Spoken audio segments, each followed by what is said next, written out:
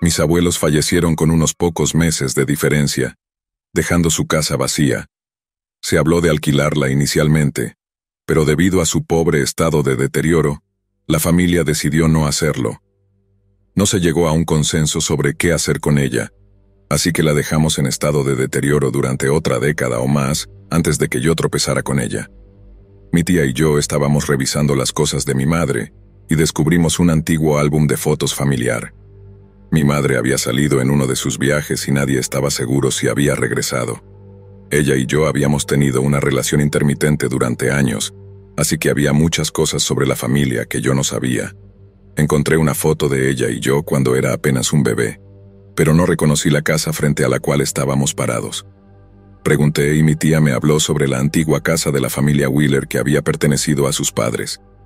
Nadie había estado allí en más de una década, y ni siquiera estaba segura de si todavía estaba en pie.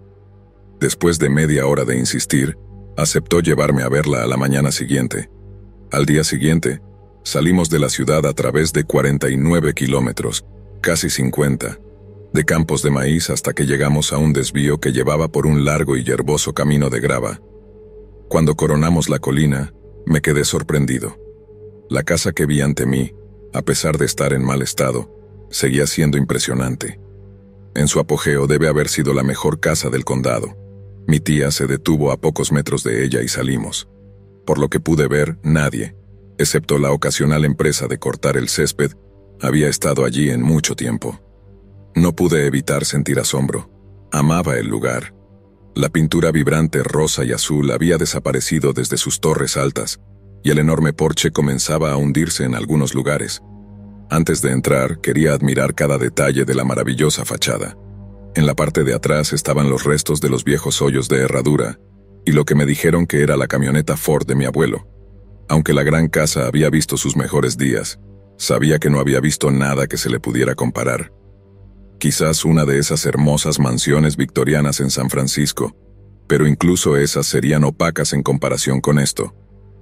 Cuando estuve listo, Subimos los escalones de concreto y entramos por la puerta trasera. Desde el momento en que abrimos la puerta, nos abrumó un olor horrible que provenía del interior. Supusimos que era una parte normal de tener una casa sellada durante tanto tiempo, y continuamos con nuestra búsqueda. Todo parecía como si hubiera sido dejado donde estaba desde el último día de mi abuela, casi como una cápsula del tiempo o un museo. Incluso las luces seguían funcionando. Solo más tarde descubrí que mi madre había estado pagando las facturas todos estos años y esperaba que alguien volviera y viviera allí algún día. Caminando de habitación en habitación y viendo todos los hermosos muebles antiguos, no pude dejar de preguntarme por qué nunca me habían hablado de la casa. Independientemente de nuestros frecuentes distanciamientos, habría ayudado a mi madre con su mantenimiento. Me resultaba completamente insensato dejar un lugar tan hermoso pudrirse. Sin embargo, las extrañas maneras de mi madre eran la razón principal de nuestros frecuentes desacuerdos. Cuando nos dirigimos al segundo piso, el olor empeoró. Sugerí cortar nuestra visita corta y solo echar un vistazo rápido. Todas las puertas estaban cerradas, así que fui a la más cercana y metí la cabeza adentro. Esta debía haber sido una habitación de invitados o de repuesto. Sobre la cama había una colcha hermosa y elaborada, fácilmente de hace más de 100 años. Mi tía estaba revisando un baúl de cedro en una habitación al lado de mí. Me uní a ella y descubrimos otro álbum de fotos mucho más antiguo que decidimos llevarnos para ver más tarde. Ella cerró la puerta detrás de nosotros y me dirigí hacia la última habitación. Desafortunadamente, cuanto más me acercaba a la puerta, más fuerte era el olor. Dudaba en abrirlo, pero pensé que si el pobre animal estaba donde pudiera alcanzarlo, lo sacaría afuera y le daría un buen entierro. Al abrir la puerta, el hedor me golpeó en la cara y perdí el enfoque por un momento. Cuando recuperé la compostura, me encontré con una terrible visión. Ante mí no había una criatura del bosque muerta, sino un ser humano. El cuerpo hinchado, ahora irreconocible, estaba acurrucado en silencio en la cama. Sentí que mis rodillas comenzaban a ceder, así que me di la vuelta lo más rápido posible y salí de la habitación. Mi tía estaba confundida por mi comportamiento y asomó la cabeza antes de sacarla rápidamente de nuevo. Ambos corrimos escaleras abajo, donde el olor era menos potente, y llamé al 911. Los oficiales pasaron unos minutos en la habitación antes de salir con un pequeño papel y una licencia de conducir. Uno de ellos se unió a nosotros en la mesa donde estábamos sentados e hizo algunas preguntas sobre mi madre. Esto me puso nervioso y comencé a exigir que se explicara.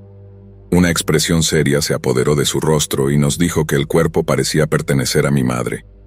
Al principio no quería creerlo, pero cuando me entregó su licencia de conducir, supe que era cierto. Mi tía y yo nos abrazamos durante mucho tiempo y lloramos. El oficial nos dio unos momentos antes de interrumpir de nuevo. Luego me preguntó si sabía por qué se había quitado la vida. Naturalmente, supuse que mi madre había muerto mientras dormía. Era una mujer mayor, pero la nota que me entregó lo dejó todo claro. Había estado deprimida durante mucho tiempo debido a nuestras diferencias, y la última vez que hablamos, se dijeron cosas que temía no poder remediar. La mañana después de nuestra discusión, decidió regresar al único lugar donde alguna vez había sido feliz. Aunque afirmaba no estar segura de lo que iba a hacer en ese momento, el pobre estado de la casa simplemente la empujó al límite. La última frase pedía que no me culpara por su muerte y que siguiera adelante con mi vida. El final simplemente decía, adiós mamá.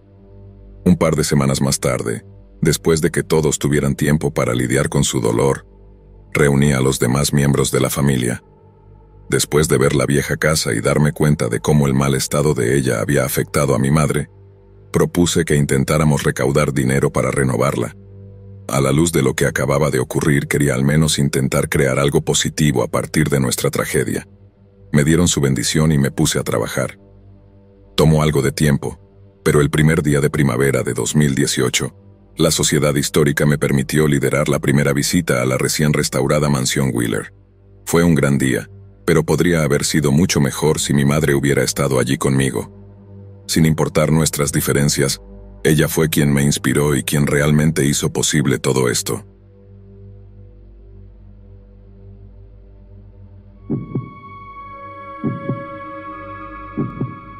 Para la temporada de casa de 2017, me uní a un arrendamiento con un compañero de trabajo. No tuve tiempo de explorar el área antes de que comenzara la temporada, Así que lo inevitable ocurrió y me perdí el primer día. Esa mañana, salí del campamento justo antes del amanecer. No soy del tipo que caza desde un puesto de caza, soy más del tipo tradicional de acecho y disparo. Como no estaba familiarizado con el arrendamiento y, estúpidamente, dejé mi GPS en el campamento. Tuve que quedarme en los caminos principales para no perderme. La mayor parte de la mañana lo hice bien. Sin embargo, a medida que me cansaba, Perdí el enfoque y me desvié del sendero. Para mi defensa, me encontré con un rastro muy fresco. Por supuesto, tuve que seguirlo. Lo malo fue que continuaron hacia una propiedad vecina y tuve que dejar de seguirlos. Cuando levanté la vista, me di cuenta de que estaba muy lejos del sendero y no sabía cómo regresar. El resto del día lo pasé tratando de encontrar el camino de regreso al campamento. Aproximadamente una hora antes del anochecer, noté una casa y una cabaña en ruinas a lo lejos. Para entonces, no estaba seguro de en qué propiedad estaba. Esperaba que si alguien viviera allí, pudiera ayudarme, pero a medida que me acercaba, pude darme cuenta de que el lugar había sido abandonado durante mucho tiempo. Toqué para asegurarme, pero no hubo respuesta, así que me hice a la idea y entré. Mi primer objetivo fue hacer una hoguera. Después de hacer eso, comencé a revisar los armarios en busca de comida y otras cosas que pudieran ayudarme. No encontré mucho, solo una lata de chili cuestionable y algunas velas. Calenté el chili sobre el fuego y lo combiné con una bolsa de papas fritas a medio comer. Después de la cena, busqué en el dormitorio y descubrí un viejo mapa del área. No estaba seguro de qué tan preciso sería después de todo ese tiempo, pero me alegré de encontrarlo. Lo extendí en el suelo frente a la chimenea y planifiqué mi curso para la mañana. Me sorprendió ver que me había desviado más de 8 kilómetros desde donde había comenzado. En algún momento durante la noche, me quedé dormido y tuve un sueño súper vívido de un hombre sentado en la silla junto a mí, solo mirando. Nunca dijo una palabra. Y cuando me desperté de golpe y vi que estaba solo, me sentí aliviado y volví a dormirme rápidamente. A la mañana siguiente, me desperté a las seis y cuarto y junté mis cosas. Me aseguré de que el fuego estuviera completamente apagado y me dirigí de regreso al campamento. Apenas había salido de la casa cuando me encontré cara a cara con un hombre extraño, el mismo hombre de mi sueño. De hecho, al principio estuve confundido, y cuando habló, supe que mi sueño había sucedido realmente. Este hombre sostenía un viejo Marlin 3030, algo común durante la temporada de ciervos. Sin embargo, este tipo no parecía un cazador. Llevaba una mochila vieja y sucia, ropa normalmente brillante pero desgastada. Sus ojos tenían un aspecto muy desquiciado que me incomodaba mirar. Me sorprendí, pero recuperé la calma y le dije buenos días. En lugar de devolverme el saludo, simplemente me miró con esos ojos negros y desquiciados. Empecé a decir algo, pero me interrumpió preguntándome qué hacía en la cabaña. Antes de que pudiera responder, soltó que era su lugar. Continué explicando lo que había sucedido el día anterior. Todo el tiempo que estuve contándole esto agarraba el rifle tan fuerte que los nudillos le empezaron a ponerse blancos. Su comportamiento empezaba a asustarme. Lo único que quería hacer era volver al campamento y luego a casa. Apenas había terminado de decir la última palabra cuando me dijo enojado que era su lugar, Parecía haber estado vacío durante bastante tiempo, pero no iba a discutir con él. Me disculpé lo más rápido que pude y seguí mi camino. Durante 90 metros o más seguí mirando hacia atrás. Esperaba ser disparado por la espalda cada vez que lo hacía. Él me miraba maníacamente de vuelta y apretaba su arma con fuerza. Me llevó un par de horas encontrar el camino de regreso, pero para entonces había tenido mucho tiempo para reflexionar sobre nuestro encuentro y estaba realmente asustado.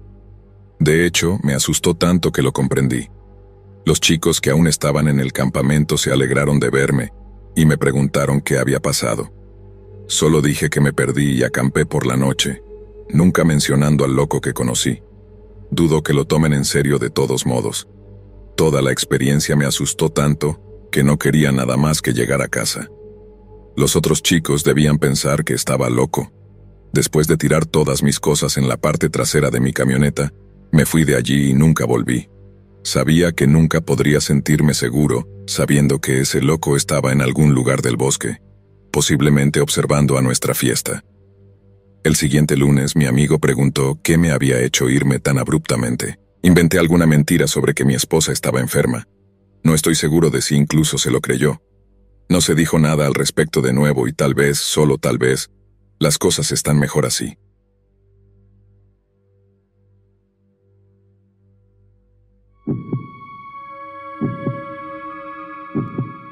Había una casa vacía en mi calle, que todos los niños pensaban que estaba embrujada. No estoy seguro de cuánto tiempo había estado allí, pero casi estoy seguro de que nadie había vivido allí durante mi vida. El estilo en el que estaba hecha difería drásticamente de las otras casas que la rodeaban, así que creo que podría haber sido construida mucho antes que las demás. La conversación entre los adultos era que pertenecía al tipo que construyó la adición de viviendas, y que, cuando perdió todo su dinero, se disparó en el estudio. Después de su muerte, su patrimonio quedó atrapado en el proceso de sucesión, así que la casa quedó vacía. No he encontrado nada que respalde la historia, pero contribuyó mucho a reforzar la idea de la mansión embrujada. Hablé con un niño mayor que había estado dentro antes y afirmaba que había estrellas satánicas pintadas por todas partes. Ahora sé que me estaba asustando, pero como tenía siete años eso me asustó muchísimo. Había un gran campo entre esa casa y el resto donde solíamos jugar. A veces, algún niño golpearía una pelota dentro del patio y tendría que ir a buscarla. Era divertido verlos intentar saltar sobre la cerca de hierro forjado y volver lo más rápido posible.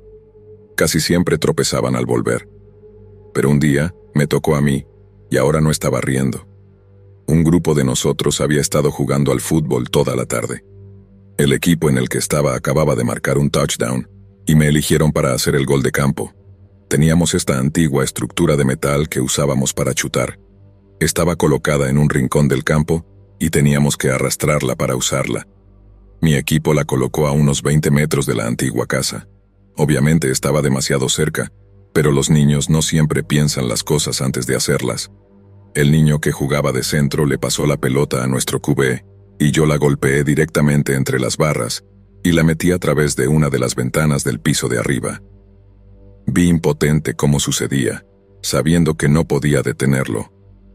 Todos los demás niños salieron corriendo, excepto uno, el niño al que pertenecía la pelota. La había conseguido solo unos días antes como regalo de cumpleaños. Sabía que estaría en serios problemas si no volvía a casa con ella. No tuvo que decir una palabra. Las lágrimas ya comenzaban a rodar por su rostro. Supongo que podría haberle dicho que se jodiera y que lo dejara con su destino, pero ese no es mi estilo. Le aseguré que iría a buscar su pelota, pero él tenía que entrar conmigo. Esto lo asustó aún más. Estoy seguro de que dentro de su cabeza consideró fuertemente dejarla donde estaba, pero sabía que no tenía otra opción. Mientras se ahogaba en sollozos, asintió y nos dirigimos hacia una muerte segura en nuestras mentes. Entramos por la parte trasera para evitar ser vistos por los vecinos entrometidos. Probé el pomo y me sorprendió ver que estaba abierto. Afortunadamente las cortinas de encaje eran lo suficientemente ligeras como para que pudiéramos ver nuestro camino alrededor. El grafiti aterrador no se veía por ningún lado. De hecho, por dentro casi parecía intacta, aparte de las sábanas blancas sobre los muebles. Una vez que me di cuenta de que no era nada como lo que había imaginado, la antigua casa perdió gran parte de su atracción para mí. Mi amigo era más joven, y estaba claro que aún estaba aterrorizado. Yo había comenzado a mirar todas las fotos antiguas, pero él quería salir lo más rápido posible. Varias veces tuvo que tirar de mi camiseta para que me moviera. El segundo piso era similar al primero, excepto por el terrible olor. Todas las habitaciones estaban abiertas, excepto una al final del pasillo. Miramos a través de las otras hasta que llegamos a la puerta cerrada. Abrí la puerta y el olor empeoró mucho, pero no me preocupaba de dónde venía en ese momento. Los dos nos pusimos las camisetas sobre la cara y corrimos para buscar. Estaba rebuscando entre las sábanas cuando un grito agudo vino desde atrás. Me di la vuelta y vi a mi amigo con la mano sobre la boca señalando a un hombre tendido en el suelo. Los dos nos quedamos quietos y esperamos a que se moviera. Por un momento pensé que estábamos en graves problemas. Sin embargo, cuanto más tiempo estuvimos allí parados, me di cuenta de que él era la fuente del olor. Y era porque estaba muerto. Perdí la compostura después de eso y grité que estaba muerto, vámonos de aquí. Mi amigo me siguió de cerca. No nos detuvimos hasta que llegamos a mi casa y recuperamos el aliento. Nos dimos cuenta de que habíamos dejado la pelota atrás y ninguno de los dos quería volver. Así que después de un largo rato, nos dimos por vencidos y fuimos a mis padres y les contamos lo que habíamos encontrado. Ellos lo tomaron bien, primero se aseguraron de que estuviéramos bien y luego llamaron al 911. Los dos nos sentamos en la ventana de mi habitación y observamos cómo la policía entraba y salía de la casa. Cuando los paramédicos sacaron el cuerpo del hombre, un policía lo siguió con un balón de fútbol. Se acercó y habló con nosotros por un tiempo. Le agradecimos y se fue. Un par de días después, hubo un pequeño párrafo en el periódico hablando de nuestro macabro descubrimiento. Nosotros, los niños, habíamos estado imaginando todo tipo de causas horribles de muerte para el hombre. Al final, resultó ser una sobredosis de drogas normal y corriente. La mayoría de nosotros volvimos rápidamente a nuestras vidas normales, y no hablamos de ello a menos que se mencionara. Mi amigo dijo que sus padres le habían preguntado una vez si tenía algo que ver con lo que salió en el periódico. Tal vez, sabiamente, fingió ignorancia y lo dejó pasar. Hasta el día de su muerte no creo que supieran lo cerca que estuvo de perder esa pelota para siempre. Desde ese día, la casa en la calle quedó marcada en mi memoria de una manera diferente.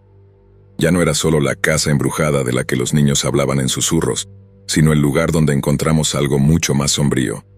Aunque ya no jugábamos cerca de allí, la casa seguía siendo un recordatorio constante de aquella experiencia. Con el tiempo la vida siguió adelante y las historias sobre la casa se desvanecieron en el pasado. Sin embargo, siempre recordaré ese día y la impactante revelación que encontramos en su interior. Fue un recordatorio de lo impredecible que puede ser la vida y de cómo a veces nos encontramos con cosas que nunca esperaríamos encontrar.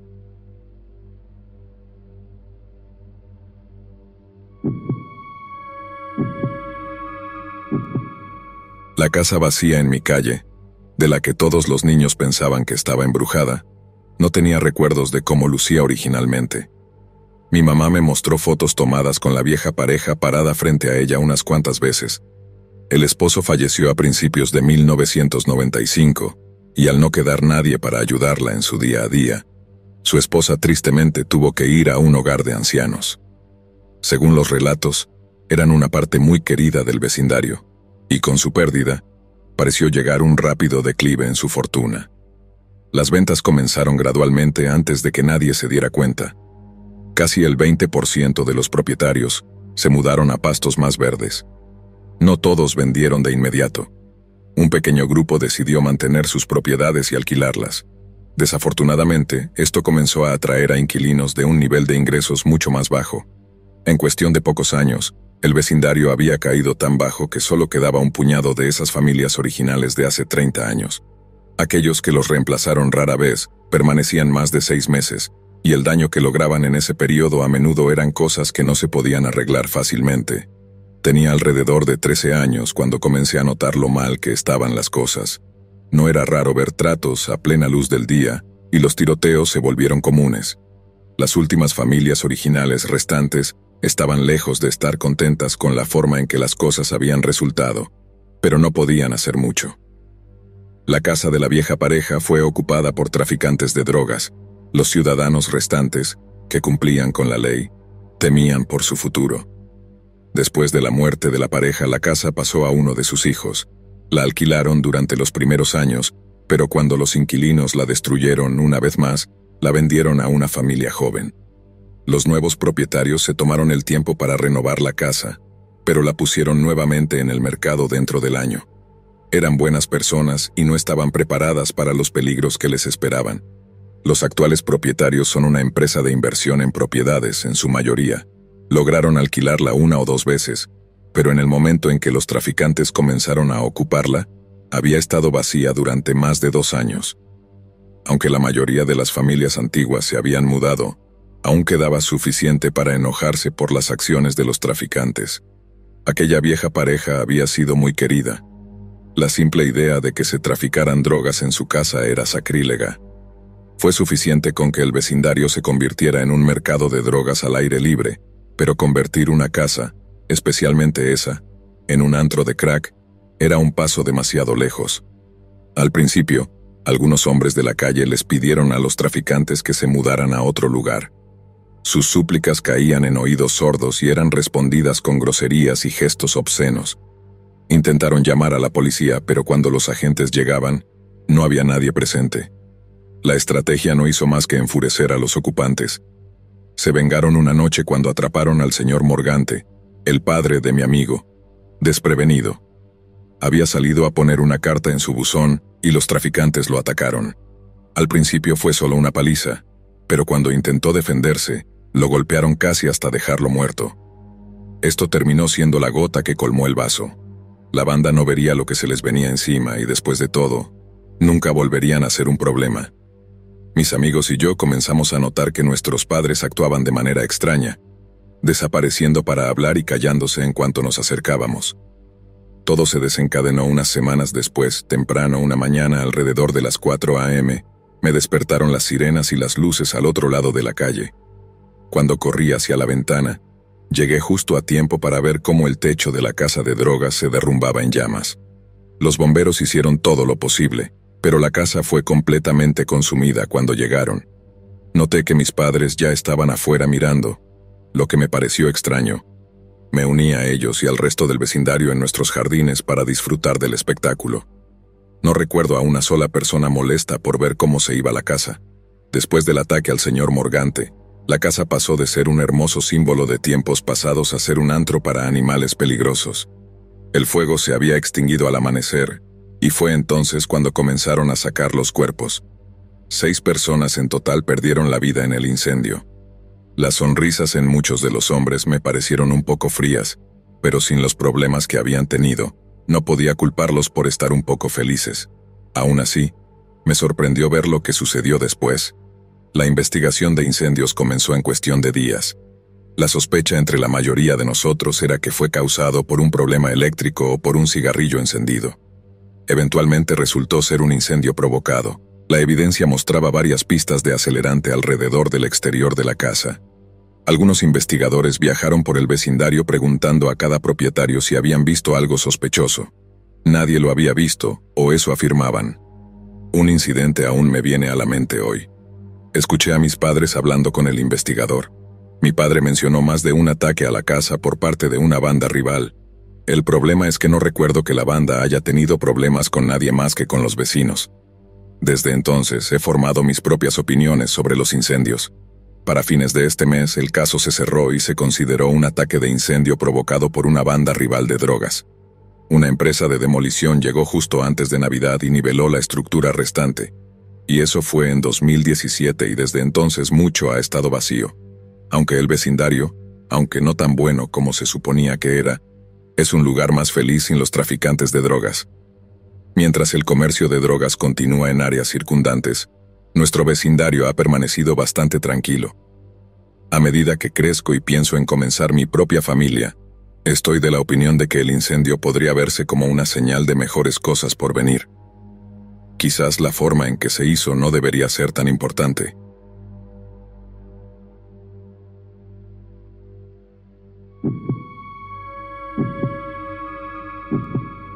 Estaba en mi ruta postal una mañana cuando se me ocurrió la idea. Una pequeña parte de mi ruta atraviesa este antiguo vecindario abandonado. Al final de la calle sin salida se encuentra la decrepita casa de dos pisos, algo así como lo que se ve en una vieja película de terror. Aquí es donde lo iba a hacer. Verás, tengo este amigo Felipe. Somos parte de un grupo de caza de fantasmas en nuestro tiempo libre. Es un pasatiempo que realmente disfruto y del que obtengo mucha emoción. Sin embargo, Felipe tiene pánico a todo lo sobrenatural. Incluso algo tan normal como un video de fantasmas cursi en YouTube lo aterroriza. Nunca entenderé por qué se somete a una de nuestras investigaciones. Le pregunté una vez por qué lo hacía y él dijo que era una forma de enfrentar sus miedos, algo que había escuchado en la televisión. Con este germen de idea en mi cabeza, cuando vi la casa, se convirtió en un plan completo. Iba a hacerle una broma a Felipe y con suerte, su miedo a las cosas espeluznantes sería derrotado. Cualquier momento en el que pueda reírme y ayudar a un amigo al mismo tiempo, me pareció una situación ganar-ganar. Lo llamé esa tarde y le dije que teníamos una nueva casa para investigar el viernes por la noche. Sonaba emocionado y no pude evitar reír sabiendo lo que tenía planeado para él. Tenía dos días para conseguir lo que necesitaba y prepararlo todo. Me detuve durante mi ruta y busqué los mejores lugares para instalar mi equipo. Había señales de que había gente, pero por lo que pude ver, no habían estado allí durante mucho tiempo. Finalmente, llegó el viernes por la noche. Después del trabajo estacioné mi auto unas cuantas calles más allá y caminé hasta la casa. No esperaba a Felipe por otra hora. Aproveché este tiempo para completar cualquier tarea de último momento. Terminé con 15 minutos de sobra y me metí en mi escondite. Dentro de minutos escuché pasos acercándose afuera. Mordí mi labio para sofocar mis risas. Nunca me sentí tan niño en ese momento. Solo segundos después de escuchar los pasos, mi teléfono vibró con un mensaje de texto. Era de Felipe. Decía que lo había retenido un tren cerca de su departamento y llegaría tarde. Esto era mala noticia. Felipe vivía casi a 30 minutos de distancia. Tendría que quedarme encogido en mi escondite incluso más tiempo. Los pasos entraron en la casa, resonando por el pasillo masivo. Espera un minuto. Ahí fue cuando me di cuenta. Si Felipe estaba a media hora de distancia, ¿quién estaba aquí? Voces de al menos dos hombres llegaban hasta mí. Uno de los hombres había notado mi equipo y sonaba muy enojado. Escuché fuertes golpes unos segundos después, lo que supongo que eran mis cosas siendo destrozadas. El segundo hombre tenía un tono arrastrado en su voz y sus palabras eran mucho más agresivas. Si descubro quién hizo esto, le corto la cabeza y la pongo en un poste afuera. Tal vez eso mantenga a la gente fuera. Mi corazón comenzó a latir como si intentara escapar de mi cuerpo. No estaba seguro de lo que eran capaces, y esperaba que se fueran sin darse cuenta de que yo todavía estaba allí. Hice todo lo posible para no hacer ruido. Seguí escuchando, y luego escuché algo que temía. Uno de los hombres, el borracho, encontró mi escondite. Lo había metido en el hueco bajo las escaleras para esconderlo. Incluso entonces, no estaba seguro de que supieran que todavía estaba allí, al menos hasta que el otro hombre comenzó a llamarme para que saliera. Dijo que si los hacía buscar me harían arrepentirme, y me encontraron. Toda duda se despejó con esa afirmación. Podía escucharlos yendo de una habitación a otra, abriendo armarios y puertas. Estaban a unas pocas habitaciones de distancia, y decidí que necesitaba salir de allí en ese mismo segundo. Cuando los escuché entrar en la habitación junto a la mía, Me lancé a la fuga. No me atreví a mirar atrás y en cuestión de segundos pude escuchar pasos detrás de mí, así que me esforcé aún más y pareció funcionar. Cuanto más cerca estaba de mi auto, más silenciosos parecían ser los pasos. Aún así, no me atreví a frenar. Corrí hacia el lado del conductor del auto, abrí la puerta lo más rápido que pude y esta fue la primera vez que miré a mis dos perseguidores. Me alegré de verlos casi a 100 metros detrás de mí. Jadeaban y luchaban por cada respiración. Sin embargo, no estaba tomando ningún riesgo. Encendí mi auto y salí de allí sin mirar atrás. Nunca más volví a hacerlo. Fue entonces cuando recordé que Felipe estaba en camino. Me inventé un rápido mensaje de texto y se lo envié. Lo hice justo a tiempo. Estaba a cuatro o cinco cuadras de la casa cuando nos encontramos en la intersección. Se detuvo junto a mí y comencé a contarle una historia sobre una dirección equivocada, y él pareció creerlo. Encogió los hombros y se dio la vuelta para regresar a casa. Lo seguí durante aproximadamente un kilómetro y medio solo para asegurarme, y luego me desvié hacia mi propio lugar. Hasta donde yo sé, Felipe todavía no tiene idea de lo cerca que estuvo de ser agredido por un par de ocupantes ilegales enfadados. Lo mismo probablemente se aplica a las bromas prácticas que tenía planeadas. Después de mi encuentro con ellos, las cosas cobraron perspectiva. Me di cuenta de que la broma era algo infantil para empezar. Ahora dejé atrás tonterías como esa. No estoy en posición de decirle a la gente cómo vivir sus vidas. Si quiere vivir con miedo, esa es su elección. Dios sabe que hay muchas cosas por ahí de las que tener miedo.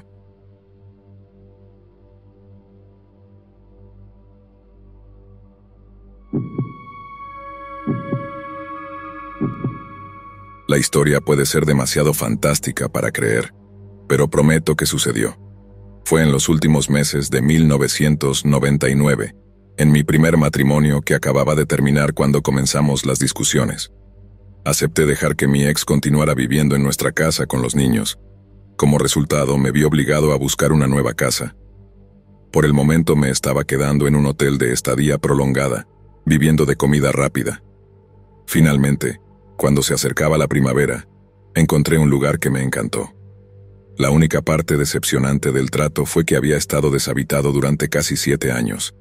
La mujer que había vivido allí antes había fallecido, y sus herederos la habían dejado vacía. Finalmente, se acordó ponerla en el mercado y fue entonces cuando la descubrí.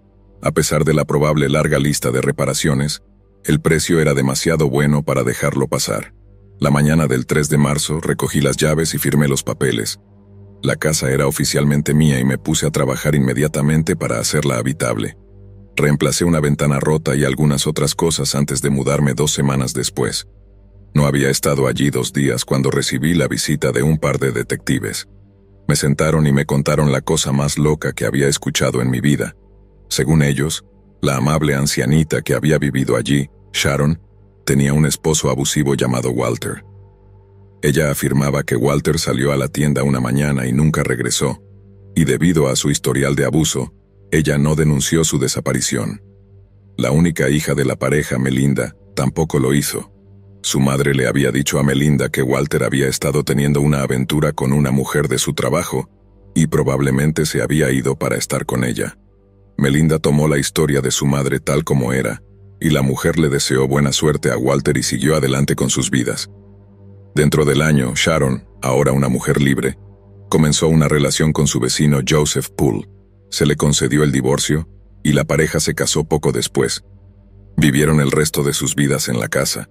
No todos estaban tan ansiosos por creer la historia de Sharon, y la policía fue solicitada por la hermana de Walter para investigar su desaparición.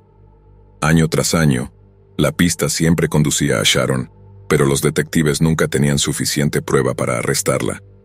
Luego, unos 15 años después de su desaparición, un nuevo par de detectives retomaron el caso.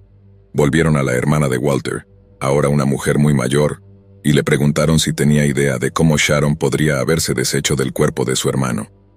Por primera vez desde que comenzó el caso, ella recordó un incidente que tuvo lugar poco después de la desaparición de Walter. Estaba visitando a Sharon, esperando obtener información sobre dónde se había mudado su hermano, y notó una gran parcela del patio trasero donde la tierra había sido removida y se habían plantado rosas.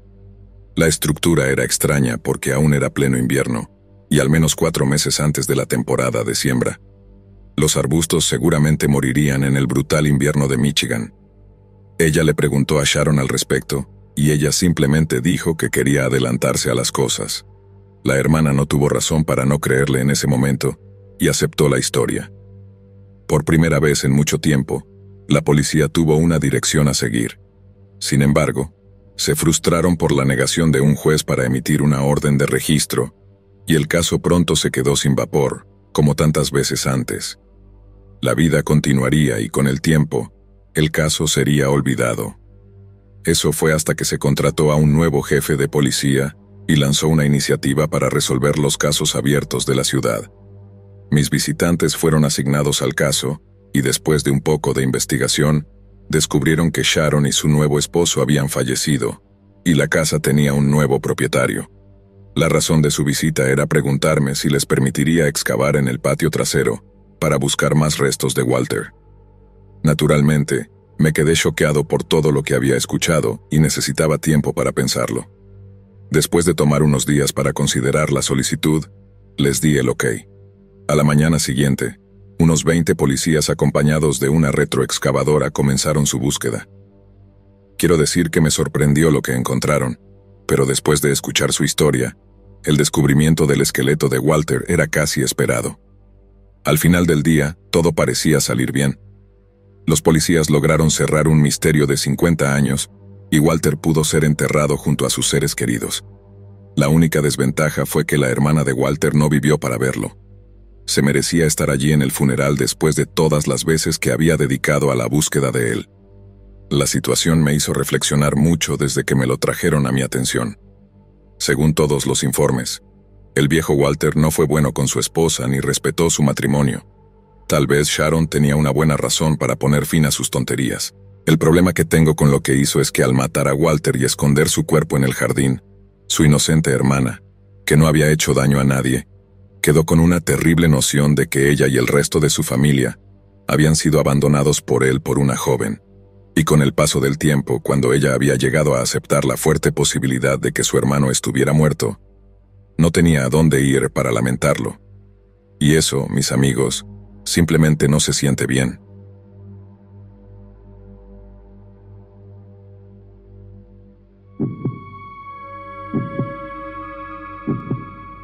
Nadie sabía de dónde venía. Todos nos fuimos a dormir la noche anterior y estaba allí a la mañana siguiente. Ni siquiera los propietarios de las casas en ambos lados tenían idea de cómo llegó allí. Ningún propietario de vivienda había escuchado ni siquiera el silbido de los frenos de aire durante toda esa noche. La única indicación real de cómo llegó fue el remolque sobre el que estaba sentado. Todavía era relativamente joven en ese momento, alrededor de los 13 años, pero el tema era un tema candente en el vecindario y cada persona con la que hablaba, ya sea un niño o un adulto, estaba ansiosa por hablar al respecto. Nuestro vecindario era algo nuevo y estaba apartado, y no era inusual que la gente dejara cosas allí. Los perros y los gatos eran los más comunes, pero uno o dos autos aparecerían cada año. Una casa, sin embargo, nunca se había visto ni se esperaba. Pasaron los días, pero no se pudo obtener ninguna información de ninguna parte. Pronto comenzó a adquirir una reputación espeluznante y embrujada, junto con su rival fantasmal en la oscuridad de la noche. Se parecía un poco a la casa de Psycho. Las historias me llegaron mientras hablaba con el hermano menor de un amigo. Entre los niños de la escuela primaria, la casa se estaba convirtiendo en un símbolo muy real de miedo, aunque para mí era solo una vieja casa vacía. Este miedo no impidió que algunos de los más aventureros entraran y la exploraran, Presencié un episodio particularmente divertido por casualidad mientras deambulaba sin rumbo por las calles. Pasaba justo a tiempo para ver a un niño preadolescente corriendo de la casa y aterrorizado, afirmando que algo lo había agarrado. Ya sea que su imaginación se hubiera apoderado de él, o que un niño mayor se estuviera divirtiendo un poco, el horror impuesto a esta casa abandonada se había arraigado completamente en el vecindario. Mientras todo esto ocurría, un verdadero monstruo había sido olvidado. No voy a poner su nombre real aquí, no por privacidad, sino por la de sus víctimas. Lo llamaremos Rudy. Rudy había crecido en el vecindario y hasta que fue arrestado era bien querido. Pero muchos padres expresaron sus temores desde el principio debido a su hábito de rondar a los niños más jóvenes. Cuando salió de la cárcel se le permitió mudarse con sus padres. Cualquiera que no estuviera al tanto de sus inclinaciones ahora lo sabía. Todos los padres del vecindario lo vigilaban de cerca. Pero cuando surgió la casa fantasma, la atención de la gente cambió. Unos pocos de nosotros, adolescentes, estábamos paseando en bicicleta por el vecindario. El padre de un niño al que llamaremos Bill estaba buscando a su hijo. Escuché a otro joven cercano preguntándole si lo había visto. El niño dijo con indiferencia que lo había visto entrando en esa casa fantasma con Rudy hace unos minutos, y esto captó toda mi atención. La expresión de shock en el rostro del padre aún está clara en mi mente. Me di la vuelta y vi al padre corriendo a toda velocidad hacia la casa. La mayoría de nosotros nos quedamos allí, hipnotizados, viendo cómo el padre de Bill desaparecía dentro de la casa.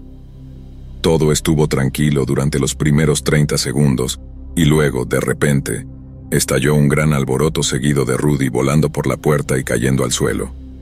El padre de Bill estaba cerca y saltó sobre Rudy, lanzándole puñetazos mientras aterrizaba. Bill salió unos segundos más tarde, llorando para que su padre se detuviera, pero su padre lo ignoró. Se levantó y pateó a Rudy en el suelo una y otra vez. Rudy finalmente se puso de pie y corrió a casa, con Bill y su padre justo detrás de él. Seguí observando hasta que desaparecieron de mi vista. Bill y Rudy afirmarían más tarde que no había pasado nada entre ellos. De cualquier manera, el padre de Bill tenía el apoyo de la mayoría de la comunidad, y Rudy se negó a presentar cargos contra él. Rudy finalmente se mudaría y saldría de las mentes de la mayoría de nosotros, hasta que fue arrestado tres años después por secuestrar y matar a dos niños cerca de su nuevo hogar. Solo entonces nos dimos cuenta de lo afortunado que había sido Bill esa noche. Mientras me quedaba dormido, recuerdo preguntándome qué le pasaría a Rudy y al padre de Bill. Cuando me desperté, las cosas eran normales para una mañana de verano, alrededor de las nueve. Estaba haciendo un tazón de cereal cuando recibí una llamada telefónica. Era un amigo mío, y estaba sin aliento y emocionado. La casa fantasma se fue, amigo. Colgué y salté sobre mi bicicleta. Cuando llegué al final de las calles, miré hacia abajo y vi el lote vacío como solía ser. Me acerqué y un pequeño grupo estaba reunido hablando con los vecinos. Era prácticamente igual que la mañana en que apareció. No habían escuchado ni visto nada extraño, Parecía que se había ido tan silenciosamente como había llegado. Hasta el día de hoy no he conocido a nadie que sepa algo sobre esa casa. A veces pienso que me he inventado toda la cosa, pero luego hablo con un viejo amigo del vecindario y mis recuerdos se confirman. Por supuesto, no creo que estuviera embrujada ni nada por el estilo, pero sé con certeza que algo estaba mal al respecto, y rezo para no volver a verla nunca más. Debería empezar diciendo que mi hermano no solo es militar, sino que es tu hombre militar básico, heterosexual. Nunca dejes que te vean llorar. No le tiene miedo a nada, excepto a todo el país de Japón.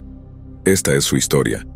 Mi hermano se unió a los marines cuando tenía 18 años y fue destinado a Japón. Disfrutó mucho de su tiempo allí por un tiempo, especialmente de las chicas. Hizo amigos con algunos de los chicos japoneses de su edad que trabajaban alrededor de la base.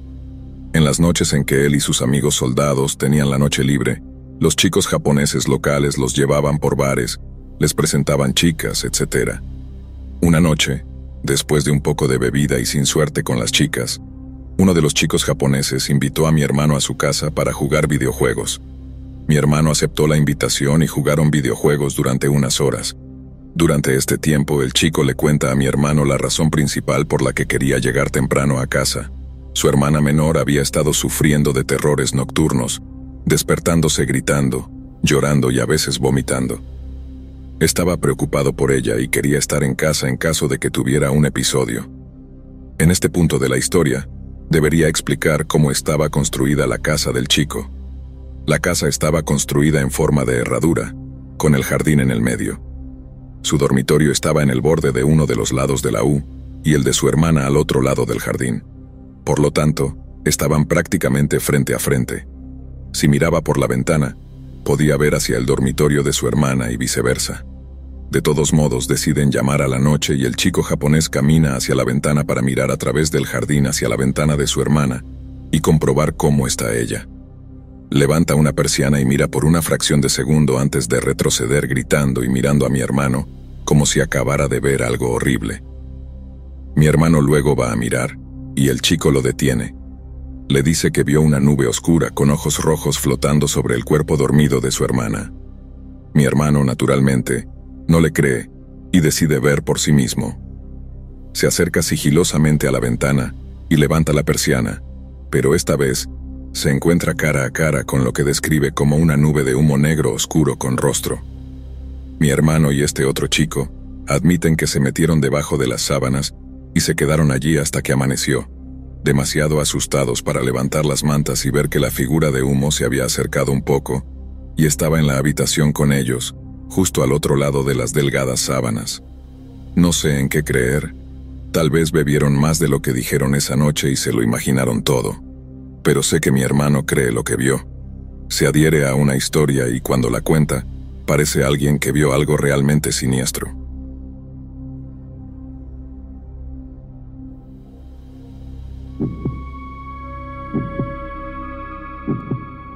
En ese entonces yo estaba en mis primeros 20 años y tenía un grupo de amigos relativamente pequeño. Principalmente éramos solo Andrew, David y yo. La mayor parte del tiempo la pasábamos simplemente caminando por el bosque cercano y hablando, o explorando cosas al azar. Pero una noche Andrew vino a mi casa y me contó sobre este edificio abandonado y espeluznante que uno de sus amigos le había mencionado. Dijo que estaba fuera de un sendero en un área boscosa no muy lejos de aquí. Por supuesto le pregunté qué era el lugar, a lo que Andrew respondió que no lo sabía y que ni siquiera su amigo se había acercado a él. Esto realmente me emocionó bastante, y ambos llamamos a David para contarle al respecto, y él también parecía bastante emocionado. Ya eran las 5 de la tarde, pero el sol no se ponía hasta las 7, y la oscuridad solo haría que fuera más emocionante de todos modos. Así que Andrew y yo empacamos algunas cosas básicas como linternas y algunos bocadillos, y luego fuimos al apartamento de David a recogerlo. Estacioné el auto al lado de una tienda de comestibles local que estaba a solo un par de minutos a pie del borde del bosque. Supuestamente había un sendero de 800 metros que conducía a un pequeño mirador, pero si continuabas más allá del final del camino durante unos minutos, encontrarías el edificio abandonado. Sabiendo esto, encontramos el comienzo del sendero y continuamos, pasando varias otras personas que se estaban dirigiendo de regreso.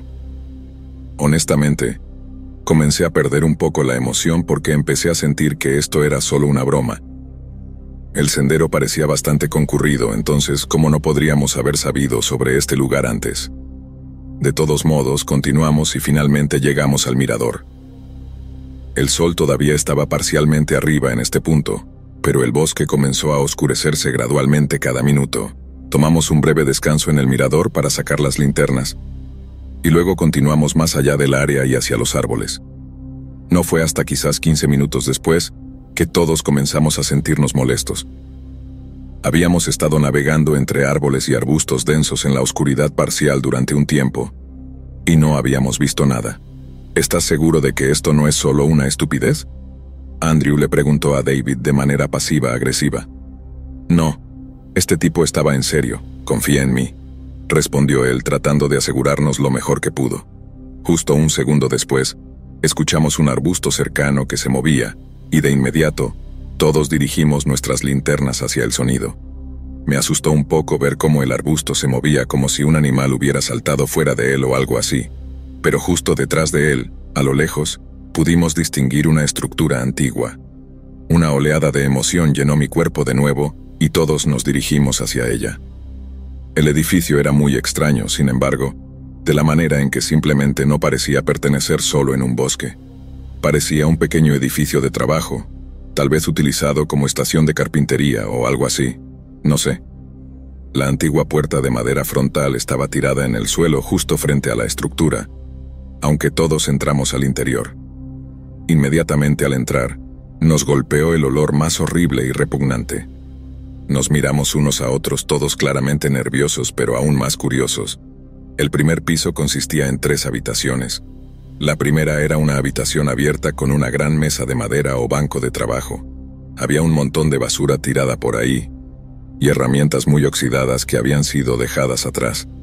Seguía David hacia el pasillo que conducía a las otras dos habitaciones, ambas con puertas cerradas. El olor era aún más potente cuanto más nos acercábamos a la puerta, tanto que Andrew retrocedió y se puso la camisa sobre la nariz. Chicos, deberíamos irnos. Ese olor es insoportable, murmuró Andrew mientras movía su linterna alrededor. Ambos lo ignoramos, aunque comencé a sentir un presentimiento realmente malo. Enfoqué mi linterna hacia la otra puerta y di unos pasos hacia ella mientras David abría la otra y entraba en la habitación. Casi instantáneamente, David gritó y rápidamente retrocedió de la habitación, lo que hizo que tanto Andrew como yo saltáramos. Esto fue seguido por varios golpes fuertes que resonaban por el edificio desde detrás de la puerta cerrada de la tercera habitación. Salimos corriendo frenéticamente sin parar hasta que estábamos completamente sin aliento. ¿Qué acaba de pasar? Andrew dijo entre sus respiraciones. Chicos, había un cuerpo en el suelo de esa habitación. Lo juro por Dios que había un cuerpo allí. David estaba enloquecido mirando a su alrededor. Podía ver en sus ojos que estaba seriamente traumatizado por lo que acababa de ver. Mencioné que necesitábamos seguir moviéndonos y que pensaba que había alguien más en esa tercera habitación escondido. Logramos salir relativamente rápido, básicamente corriendo en la dirección que sabíamos que nos llevaba a la carretera. Cuando llegamos de vuelta al auto, los conduje hasta la comisaría de policía a un par de cuadras de distancia, donde explicamos el encuentro. El oficial que tomó nuestro testimonio honestamente parecía avergonzado de nosotros, como si fuéramos estúpidos por haber ido allí siquiera. Quiero decir, sí, tal vez fue una idea tonta, pero también acabábamos de explicar que podríamos haber encontrado una escena de asesinato, y este policía simplemente nos estaba dando una actitud molesta. De todos modos, enviaron a un par de oficiales allí. De hecho, nos quedamos en nuestro auto afuera de la comisaría de policía esperando una actualización durante más de dos horas, hasta que finalmente recibí una llamada y todos volvimos adentro para hablar con un grupo de policías. Encontraron manchas de sangre así como signos de que alguien había estado allí recientemente, pero nadie. Parecía que ahora tomaban la situación más en serio, aunque nos cuestionaron más a fondo a todos nosotros. Avanzando rápido un par de semanas después, Encontraron lo que probablemente era el cuerpo que David había visto, enterrado pobremente a varios cientos de metros de distancia del edificio abandonado.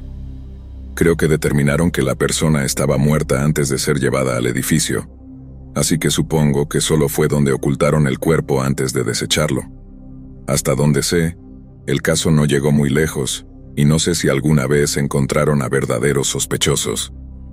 Fue una experiencia loca, sin embargo, y el hecho de que estuviéramos tan cerca de un posible asesino todavía me resulta inquietante pensar hoy en día.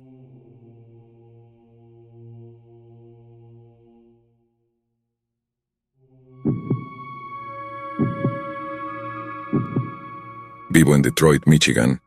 Por si acaso no estás al tanto, Detroit tiene algunos de los mayores números de edificios abandonados en los Estados Unidos. No estoy seguro de por qué es exactamente, pero siempre he crecido viviendo en pueblos vecinos a estos viejos edificios deteriorados, así que estaba acostumbrado. Mucha gente solía pasar el rato en ellos o explorarlos por diversión, era algo común. Cuando estaba en la escuela secundaria, tenía un mejor amigo al que llamaré Fausto.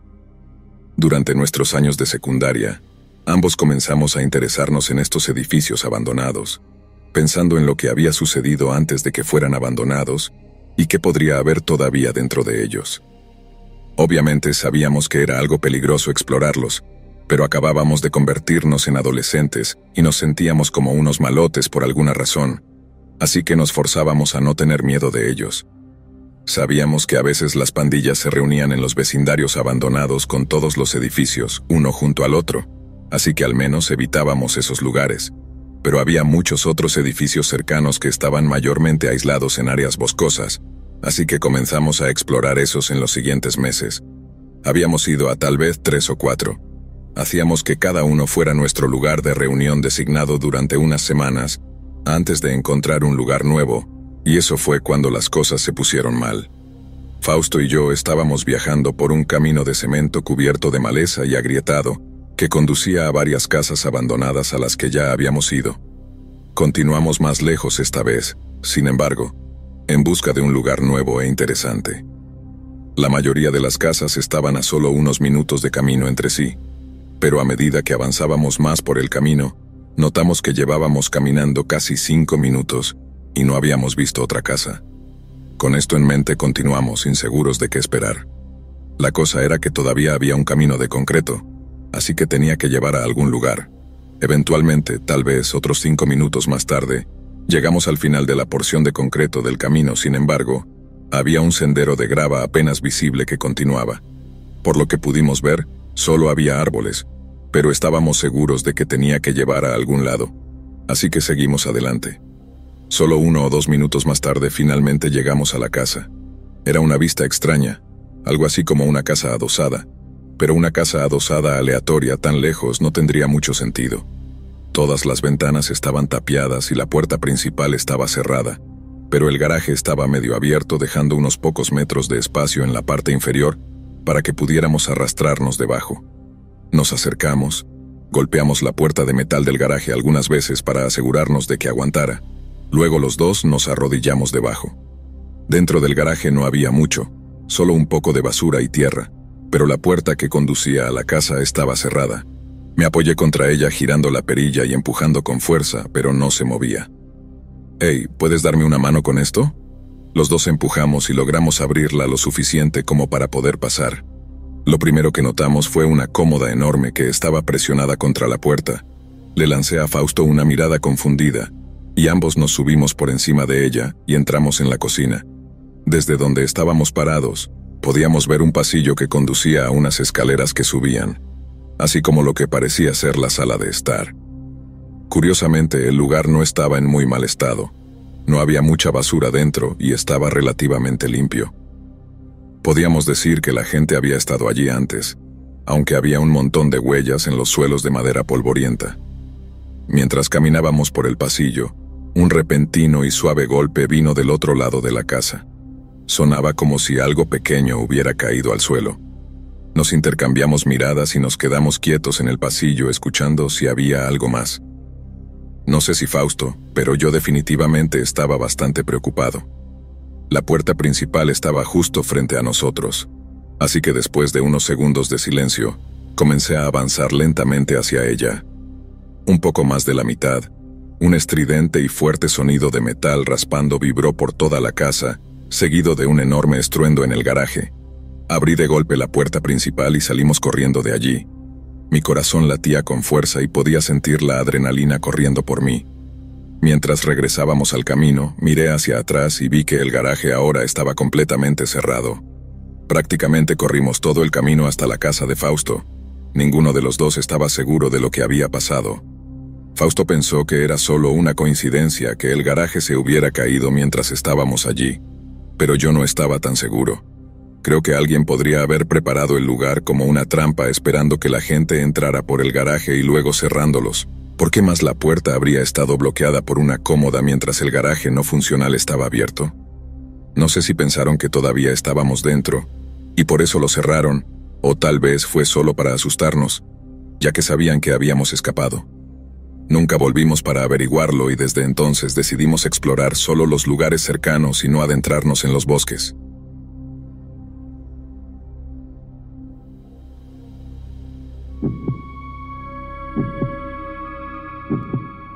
Mi mejor amigo Germán y yo siempre teníamos nuestros lugares pequeños donde nos escondíamos del resto del mundo, ya sea un rincón en el patio de la escuela o el parque de patinaje cercano.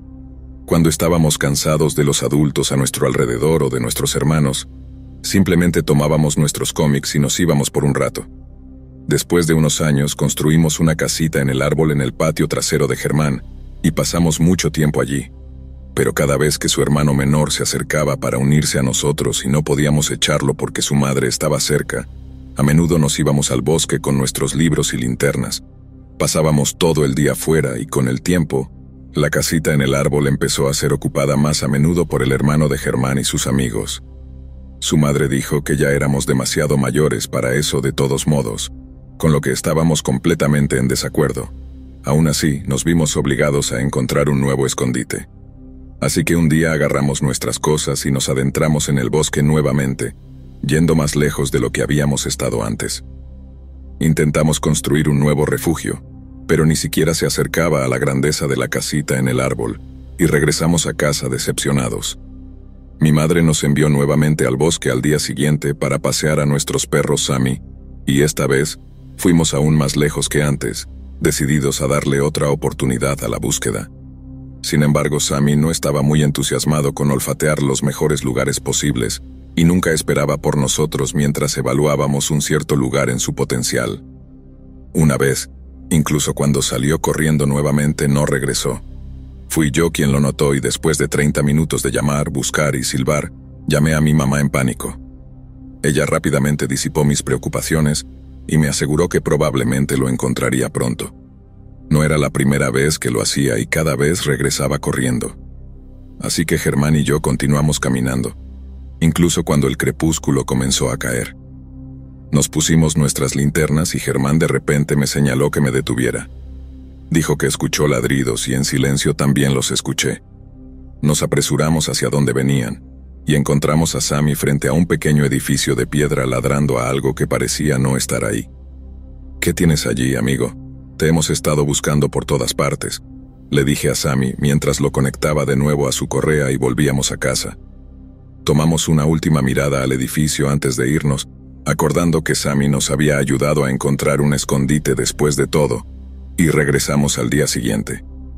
Para entonces ya era crepúsculo, habíamos terminado nuestras tareas escolares y la cena primero, dejamos a Sammy en casa y solo llevamos nuestras linternas, teléfonos y pilas con nosotros listos para la oscuridad.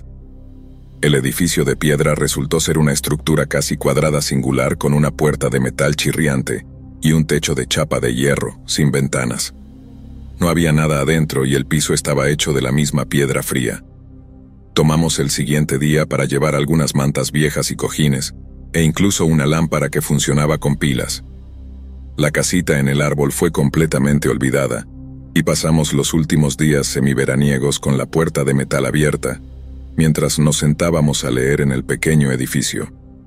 Lo cerramos cuando llegó el otoño, lo cual no nos molestó realmente porque ya era oscuro afuera, así que no importaba mucho. Nuestro interior también había recibido algunas actualizaciones. Colgamos una guirnalda con luces pequeñas sobre nuestras cabezas y pusimos carteles en las paredes. Este escondite, pensamos, duraría para siempre. Íbamos allí todos los días por defecto, incluso cuando llovía, especialmente cuando llovía de hecho. El sonido de las gotas en el techo de hierro tenía que ser lo mejor que existía, marcando calmadamente el fondo mientras ambos escuchábamos nuestra propia música con auriculares puestos. Un día estábamos escuchando la misma música en mi teléfono, tumbados perezosamente en los cojines con nuestras tareas escolares intactas en la esquina. Llovía bastante y el viento aullaba alrededor del edificio. Después de un tiempo, mi teléfono murió y ya no teníamos más música que escuchar. Germán, en lugar de eso, se preparaba para hacer cualquier cosa para evitar su tarea. Se sobresaltó cuando la puerta chirrió de repente y su zumbido se detuvo. Nos quedamos mirando la entrada antes de mirarnos el uno al otro. Yo me encogí de hombros y mientras alcanzaba mi cuaderno, se escucharon pasos alrededor de la parte trasera del edificio. Recuerdo que ambos estábamos bastante agitados. Yo solo esperaba que fuera alguien que explorara inocentemente el bosque o algo así, pero estaba lloviendo a cántaros y estábamos bastante adentro del bosque. Pero antes de que pudiera responder, escuchamos pasos corriendo alrededor del edificio, seguidos de la puerta golpeando violentamente abierta. El viento y la lluvia entraron violentamente en la habitación. Germán gritó y yo estaba igual de agitado que él, ambos incapaces de movernos. Miramos hacia la oscuridad del bosque hasta que nos dimos cuenta de que nadie estaba allí, al menos no más. Finalmente encontré la fuerza para levantarme y cerrar la puerta. Acordamos irnos pronto después y cuando llegamos a casa completamente empapados, decidimos no volver a visitar el escondite durante la oscuridad, porque no sabíamos quién había abierto la puerta y no queríamos quedarnos otra noche para descubrirlo. De hecho, todavía no lo sabemos.